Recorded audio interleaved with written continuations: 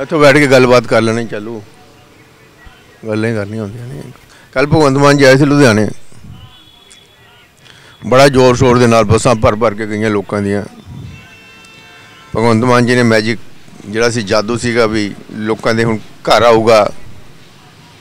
Motorcycle ਕੰਮ ਪੁੱਛੂਗਾ ਤੇ ਕੰਮ ਕਰਵਾ ਕੇ ਤੁਹਾਡੀਆਂ ਮੁਸ਼ਕਲਾਂ ਦੂਰ ਕਰਨਗੇ।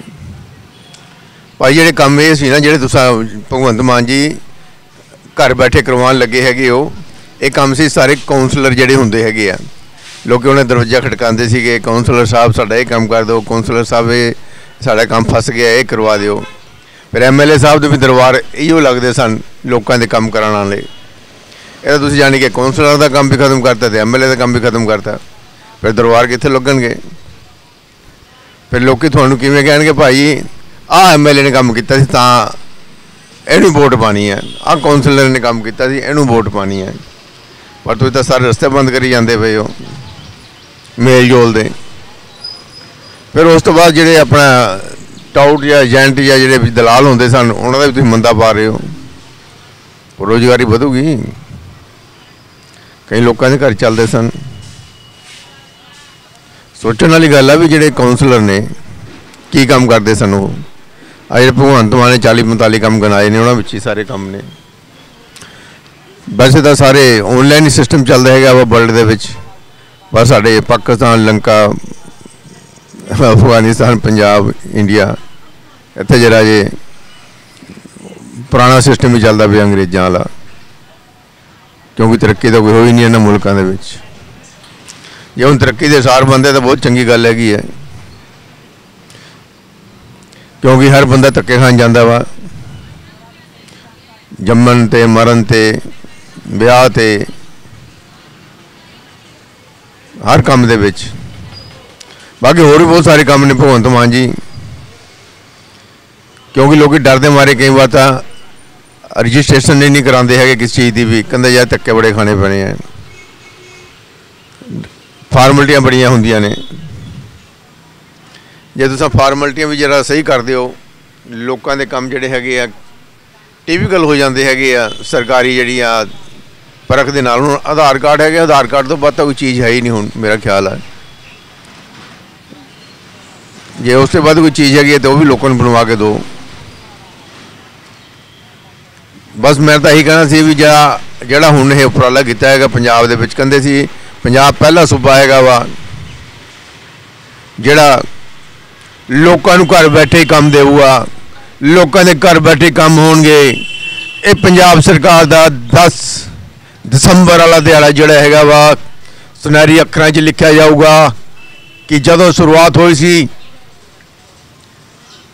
ਘਰ ਬੈਠੇ ਕੰਮ ਕਰਨ ਦੀ, ਉਹ ਪੰਜਾਬ ਦੇ ਵਿੱਚ ਆਮ ਆਦਮੀ ਪਾਰਟੀ ਨੇ ਕੀਤੀ ਸੀ। ਭਗਵੰਤ ਮਾਨ ਦਾ ਵੀ ਸੁਪਨਾ ਸੀਗਾ ਕਹਿੰਦਾ ਮੈਨੂੰ ਬੜਾ ਦੁੱਖ ਹੁੰਦਾ ਸੀ, ਜਦ ਮੈਂ ਚਾਚਾ, ਤਾਇਆ, ਮਾਮਾ, ਫੁੱਫੜ, ਭੈਣ, ਭਰਾ ਲਾਈਨਾਂ 'ਚ ਲੱਗਦੇ ਸਨ ਜਾ ਕੇ। ਤੇ ਬੁੱਧਵਾਰ ਤੇ ਵੀਰਵਾਰ ਆਓ। ਫਿਰ ਸ਼ਨੀਵਾਰ ਆ ਗਿਆ, ਛੁੱਟੀ, ਸੋਮਵਾਰ ਆ ਗਿਆ, ਛੁੱਟੀ, ਫਿਰ ਕੋਈ ਦਿਹਾੜਾ ਆ ਗਿਆ ਛੁੱਟੀ ਦਾ। ਲੋਕੀ ਖੱਜਲ ਖਰਾਬ ਹੁੰਦੇ ਸੀਗੇ। ਪਰ ਵੀ ਭਗਵੰਤ ਮਾਨ ਜੀ, ਇਹ ਗੱਲ ਨਹੀਂ ਸਮਝ ਆਈ ਮੈਨੂੰ ਇੱਕ। ਆ ਮਹੀਨਾ ਹੋ ਗਿਆ, ਸਟ੍ਰਾਈਕ ਚੱਲਦੀ ਪਈ ਹੈਗੀ ਆ। ਆ ਸਟ੍ਰਾਈਕਾਂ ਦਾ ਹੀ ਫਿਰ ਕਿਵੇਂ ਕੰਮ ਹੋਊਗਾ? ਸਟ੍ਰਾਈਕਾਂ ਤਾਂ ਬੜੀਆਂ ਚੱਲਦੀਆਂ ਪਈਆਂ ਨੇ। ਕੰਮ ਵੀ ਇਹਨਾਂ ਲੋਕਾਂ ਨੇ ਕਰਨੇ ਨੇ।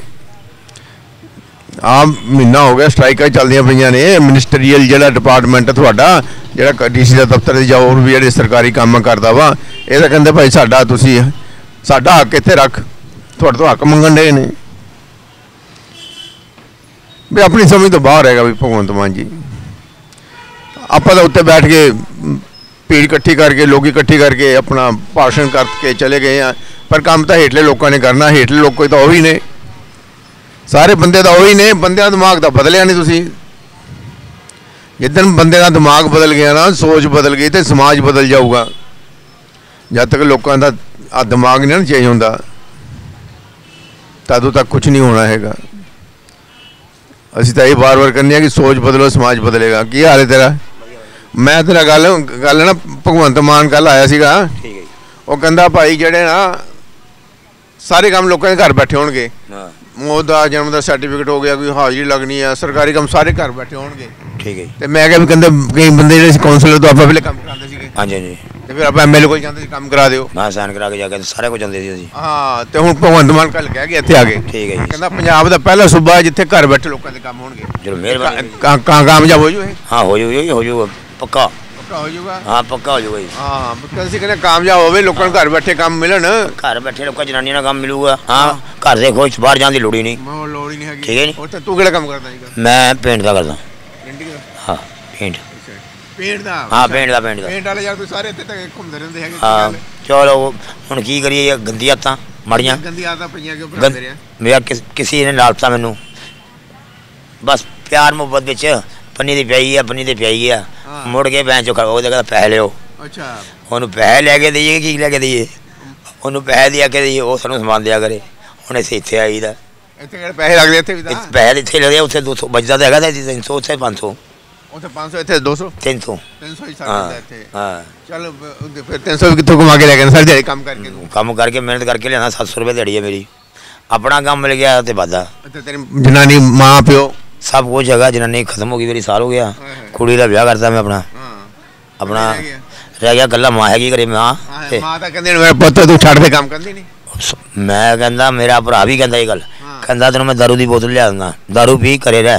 ਬਾਹਰ ਨਿਕਲਣ ਦੀ ਤੈਨੂੰ ਲੋੜ ਹੀ ਨਹੀਂ ਪੇਟੀ ਲਿਆ ਦਿੰਦਾ ਮੈਂ। ਪੀ ਜਾ ਸੋਈ ਜਾ। ਇਹੀ ਮੇਰੀ ਮਾਤਾ ਵੀ ਕਹਿੰਦੀ। ਇੱਕ ਛੋਟਾ ਭਰਾ ਮੇਰਾ ਪੂਰਾ ਹੋ ਗਿਆ। ਓਏ ਉਹ ਕਿਦਾਂ? ਗੋਲੀਆਂ ਖਾ ਕੇ।